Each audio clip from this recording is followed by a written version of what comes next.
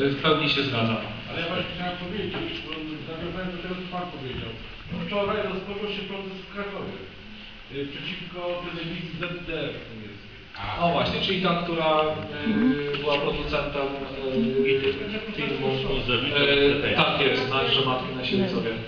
Tak? Mogę? Ja mam pytanie, czy wiadomo jest panu i innym historykom, czym zajmowali się w czasie wojny tacy ludzie jak Luna, Różański, Berman?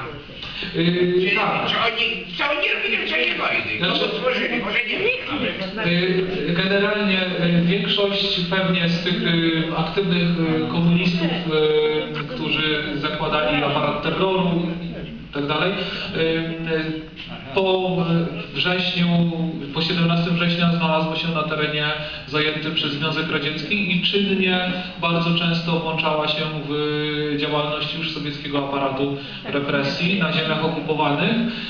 Część z nich e, podczas wojny współpracowała z Gestapo, e, nie z miłości do nazizmu, tylko z nienawiści do polskości i do polskiego, e, do polskiego państwa, do polskiego państwa podziemnego, tego jedynego legalnego. Znamy przynajmniej kilka e, sytuacji, gdy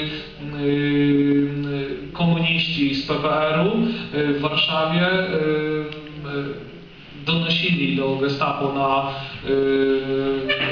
działaczy Armii Krajowej czy, czy struktur cywilnych Polskiego Państwa Podziemnego, więc ta współpraca z Gestapo w tępieniu polskiego podziemia, e, polskiego ruchu oporu e, na pewno też była, więc e, najczęściej funkcjonariusze NKWD, tak?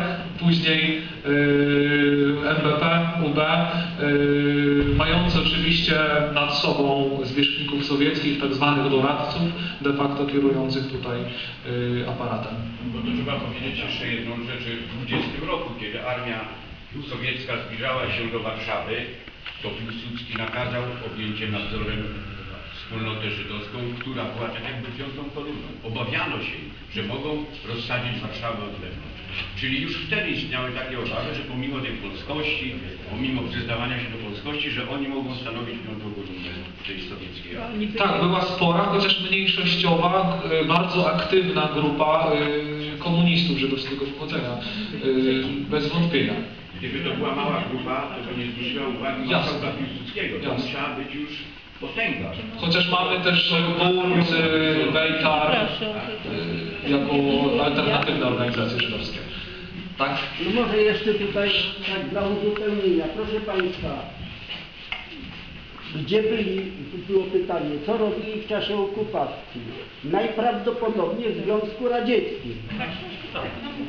Znałem w Bydgoszczy Żydówkę, której zadałem pytanie. Pani Ireno, dlaczego Stalin nie otworzył granicy dla wszystkich Żydów, mógł uratować? A nie, myśmy mogli tylko z mężem wjechać do Związku Radzieckiego dlatego, że przed wojną byliśmy w Związku Młodzieży Komunistycznej.